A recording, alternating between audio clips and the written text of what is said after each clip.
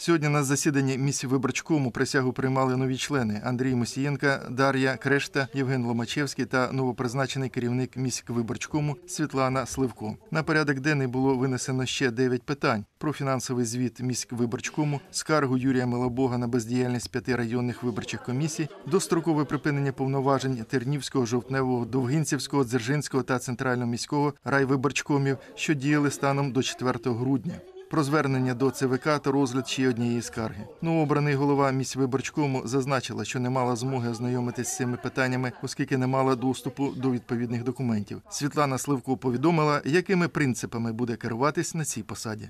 Мы будем работать только согласно закону Украины и Конституции Украины и защищать интересы наших граждан, именно нашего города.